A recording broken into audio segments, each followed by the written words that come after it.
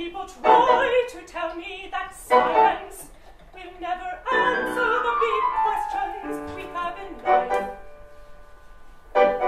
To them I say, baloney, the problem is your questions aren't big enough.